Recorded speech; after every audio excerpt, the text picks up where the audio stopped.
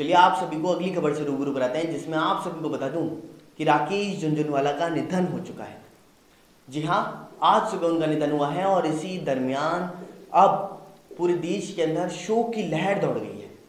आप सभी को बता दूँ कि छियालीस हज़ार करोड़ रुपए की संपत्ति के यह मालिक थे और शेयर बाज़ार के अंदर अच्छा खासा वर्चस्व भी रखते थे। तो वहीं हर्षद मेहता जो कांड हुआ था, उसके अंतर्गत भी आप सभी को बता दें कि इनका कहीं ना कहीं उस समय भी नाम आता हुआ नज़र आया था और इसी को लेकर के अभी क्या कुछ चर्चाएँ चल रही हैं, सीधा रूबरू कराते हैं हमारे इस रिपोर्ट में। दलाल शीट के बिग बोल राकेश झुंझुनवाला का आज सुबह निधन हो चुका है। मुंबई के ब्रिज कैंडी अस्पताल ने सुबह छह बजकर के पैंतालीस मिनट पर राकेश झुंझुनवाला की मौत की पुष्टि कर दी है।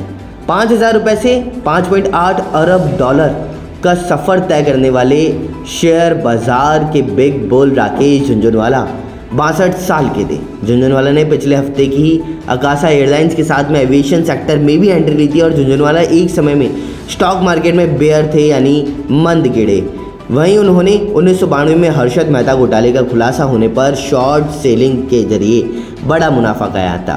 वहीं 1990 के दशक में भारतीय स्टॉक मार्केट में कई प्रतिष्ठित कोटेल थे। उनके निधन पर प्रधानमंत्री नरेंद्र मोदी ने ट्वीट करके शोक जताया है।